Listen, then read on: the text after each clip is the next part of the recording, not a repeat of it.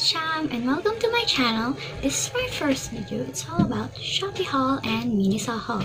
I decided to make this video because um, isa din ako sa mga na-addict na bumili dito sa Shopee. And gusto ko lang din may share sa inyo kung ano ba yung mga nabili, nabili ko at kung ano ba yung mga pwedeng mabili dito sa Shopee and Miniso. And without further ado, let's get started. Ang first item na share ko sa inyo, ito yung mga accessories na nabili ko kay lang. First one is ito. Isa siyang necklace. Actually, ang ganda niya sa picture. Pero nung nakita ko siya sa personal, hmm, pwede na. Ito siya. Look. Cute naman siya. Kaso hindi ko pa siya nasusuot. I think it's only 30 pesos. Hindi ko matandaan eh. Mm. Second item is this necklace.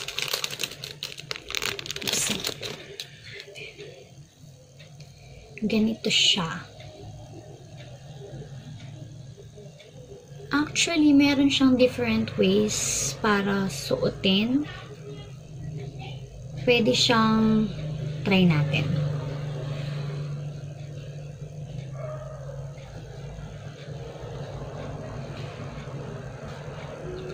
Alam ko, pwede siyang ganito lang hindi mo siya ma-appreciate kung hindi ka naka v-neck or kung hindi nakalitaw yung dito mo. Yan. Yan, ganyan siya. O kaya pwede siya na nakaganto. Yan. Hindi ko na matandaan kung magkano to. Alam ko, walang, hindi siya abot ng 50 din. Ay, tanggal ko yung necklace na necklace kong isa.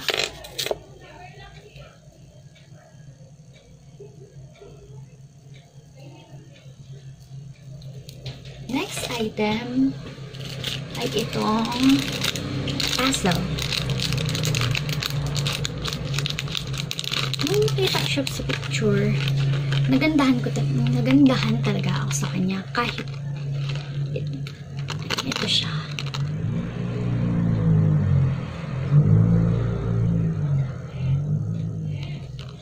alam ko it's only 115 115 for this elegant earrings. Try natin siya.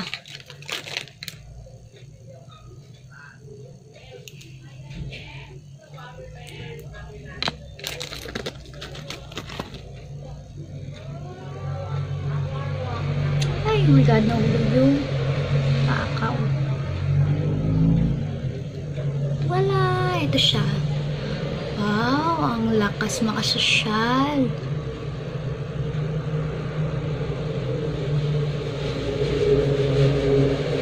ililink ko mamaya sa baba kung saan ko nabiling shop ang mga to para kung gusto niyo rin bumili di go. Pag pumarty ka pwede to. Next item itong redo. This.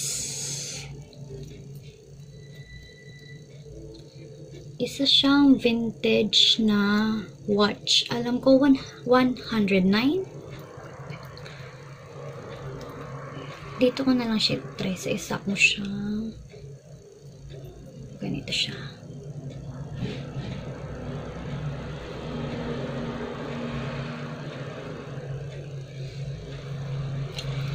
Our next item itong hindi ko pa din siya natatry. Yung shade niya shade niya ay okay hindi nyo siya makita masyado Lilink ko na lang sa baba kung anong shade niya. Pero yung shade niya, Liquid Matte Lipstick, Bear With Me. Buksan natin.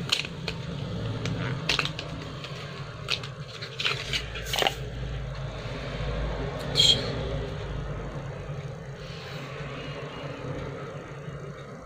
Nakikita niyo ba siya, guys?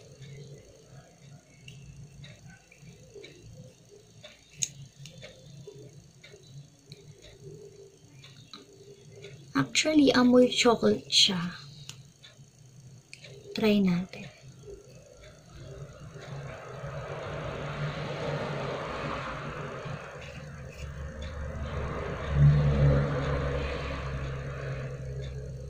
Maganda siya, guys. It's matte. Ito yung shade niya. Ayan. Parang peach yung color niya. Peach, kung hindi ako nagkakamali.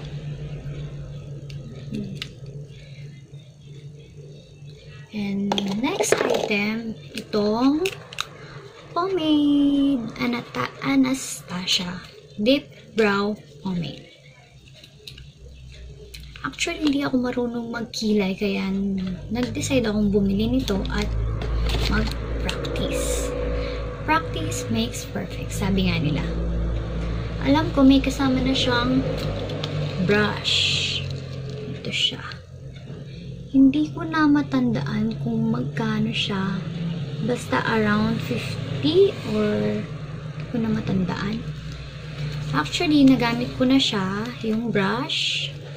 Tsaka to, na-try ko na siya. Kaya medyo madumi na siya. Medyo disappointed lang ako dito sa kanyang brush kasi tingnan nyo. Medyo nag may mga hair, hair na natatan, natatanggal na ano. Ayan. Kaya hindi ko na din siya ginamit. Pero ito, ginamit ko siya kanina.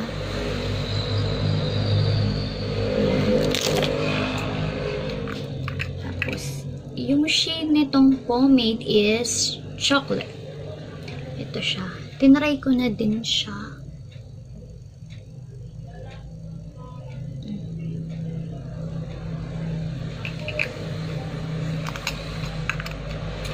Mag-comment na kayo sa baba guys kung gusto nyong makita yung mga trials ng mga products na to. Kung gusto nyo, may gusto kayong ipa-review.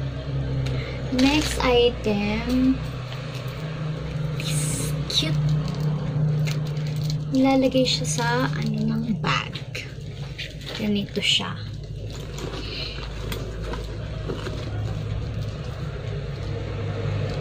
Actually, dalawa yung sabitan niya. It's either ito or ito. Ang lambot niya, guys. Actually, it's only 15 pesos. Ayan. Alam, may iba-ibang kulay siya. Pink, violet, gray, blue. Ito lang yung napili ko kasi yung gusto kong kulay, wala Actually, old rose talaga yung pinili ko. Pero ito lang yung available. Kaya ito na lang. Ganito siya.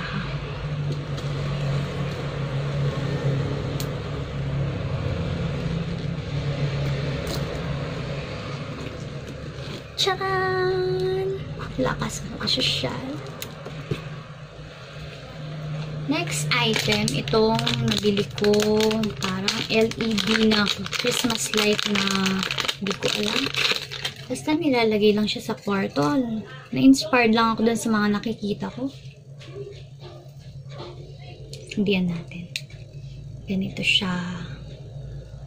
Ayan. Alam ko, it's only 80 pesos sa Shopee. Ayan. Parang wire siya. Alambre. Na may mga LED na maliliit. Ayan. Tapos, alam ko, pinagde-design siya sa halimbawa dito sa ano, tissue holder. Ayan, ginaganyan siya. Pinag-design siya. Ay, nabuhol. Ayan, alam ko ganyan. Ganyan, ganyan. It's up to you guys kung paano tayo maging creative. Next item, itong pang-ipit ng bedsheet. Kasi kami laging pagising sa umaga or minsan hindi pa kami matutulog, gulo-gulo na yung bedsheet namin, ang gulo-gulo na. Kaya I decided to buy this. Iniipit lang siya dun sa magkabilang edge ng kama. Tapos i-hold niya yung garterize siya. I-hold niya yung bedsheet nyo para hindi siya nagugulo. Ganito siya, guys. Ito yung bedsheet. Hindi push mo lang siya. Ganito siya. Four pieces na siya sa isang balot. Alam ko, 104 kung nabili to. For 4 pieces. Sulit na siya, guys. Kasi nagamit ko na din siya. Hindi na masyadong nagugulo yung kama namin. Yung bedsheet namin. Ganito lang siya. Iipit lang siya sa sa bedsheet natin. Tapos, yan, i-clip mo lang. Yan, ganyan siya, guys. Next item, ito. 16 eyebrow. Totoo lang, hindi talaga ako marunong mag-makeup. Na-intrigue lang ako dito kasi sikat na sikat siya. Tapos, nakita ko siya sa Shopee na 50 pesos lang. Tapos, binibenta ng iba ng 150 hanggang 250. So, I decided to buy this para matry din siya. Buksan natin. Tingnan natin yung sa loob niya.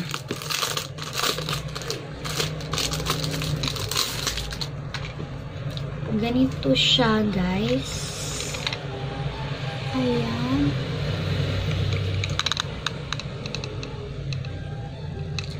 Para siyang magazine. Magazine type. Actually unique yung packaging niya. Ganito siya. Mayroon siyang mga instruction dito.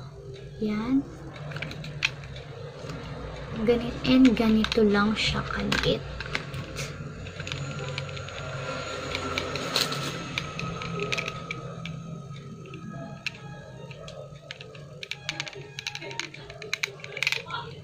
buksan natin guys. Ayan siya. Ayan siya guys. Nakikita niyo ba? Actually, ang liit lang niya. Sinlaki lang siya ng daliri ko. Ganyan lang. Yung laki niya. Expect ko malaki. comment down lang kayo guys kung gusto niyang itry natin o gumawa tayo ng review about this 16 eyebrow. Ay, hindi pala. Eyeshadow. Sorry guys.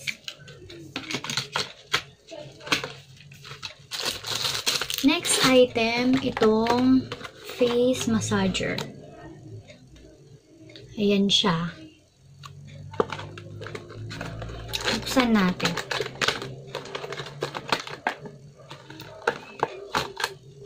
Ayan siya. It's color white at may gold siya dito. Tapos, kulay itim yung brush niya. Actually, guys, uh, fluffy talaga siya. And maganda yung ano niya maganda siyang pang ano sa mukha. Lagyan nyo lang siya ng facial wash, facial foam, tapos massage, massage, massage, massage. Pwede na to kung wala kayong pambili ng yung di baterya. Ayan siya. Alam ko, 100 lang to. It's very affordable na, guys. Next item, itong travel multi-pouch. Ayan, since marami din ako, marami din laman ang bag ko, kaya I decided to buy this one. Tignan natin siya, buksan natin guys.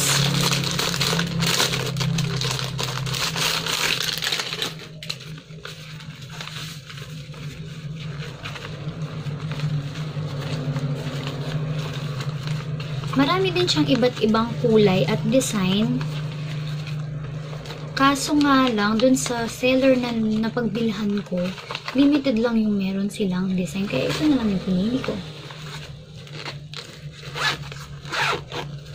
Okay naman siya, parang waterproof. Ganito yung sa loob niya. Ayan. Ayan. Yung mga makeup natin, pwede natin ilagay dito. Yung mga brushes. Yan. Tapos yung mga malalaking nasa bag natin para mas lalong organized yung nasa loob ng bag natin. Bili na din kayo nito. It's only 100 pesos. Organize na yung bag natin. Hindi na gulo-gulo. Hindi ka hanap ng ganito, hanap ng ganyan, kalkal ng ganito, kalkal sa ganyan. Yan. Next item, itong bag na to. Nakita ko lang siya. It's only 90 pesos. 90 pesos lang tong bag na to, guys. Ayan siya. Ayan. Ayan siya. Actually, nagamit ko na siya ng isang beses. Okay naman siya. At makapal naman yung balat niya. Worth it na sa 90 pesos. It's very affordable guys. Kaya bili din kayo ng ganito. Alam ko may dalawa pa siyang kulay na kulay black. Nakalimutan ko na yung isa. Ayan. Lakas na kasi siya. Ganito, ganito yung nasa loob niya. Yan. Yung ano nga lang dito sa bag na to, konti lang yung malalagay mong items. May compartment pa siya dito. Isang zipper sa loob.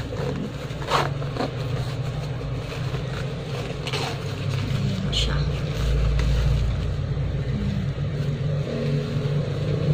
That's the last item for Shopee. Lipat naman tayo sa Miniso.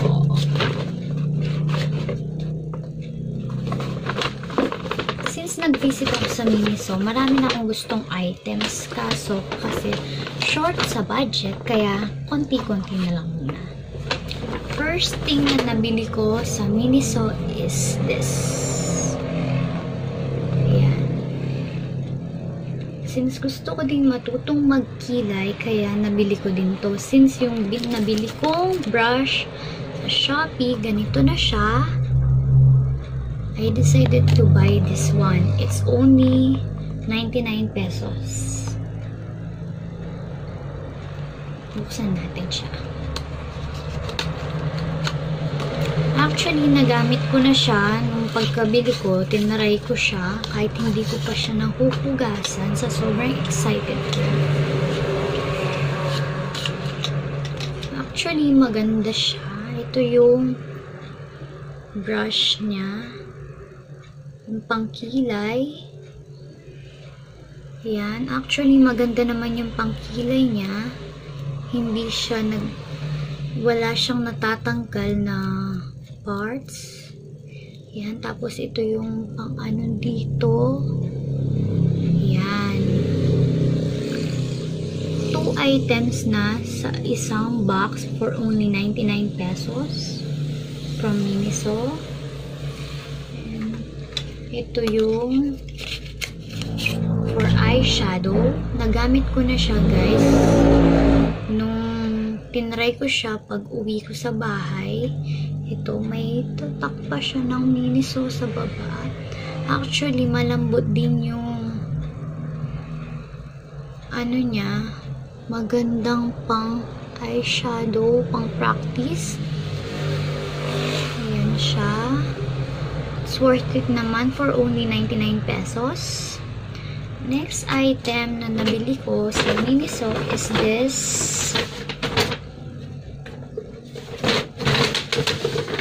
eyebrow pencil.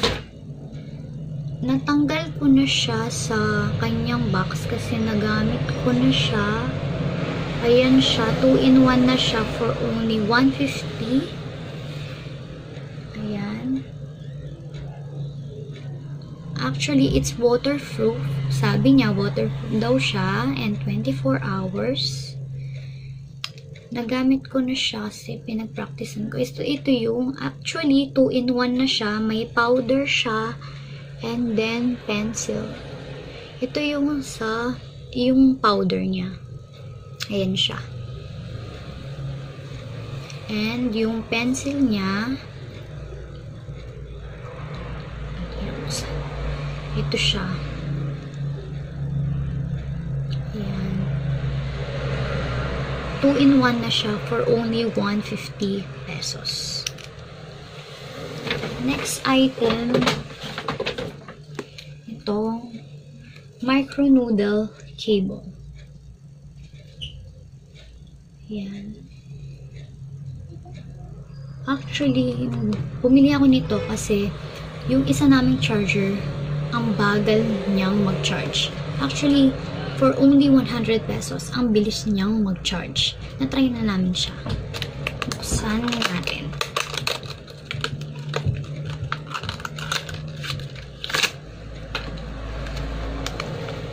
Actually guys, ang ganda ng ano niya.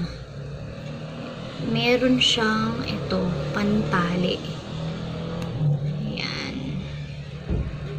For only 99 pesos. Ang haba na ng cord niya guys. Tapos, flat siya. Flat yung cord niya. Ganito. Yan siya.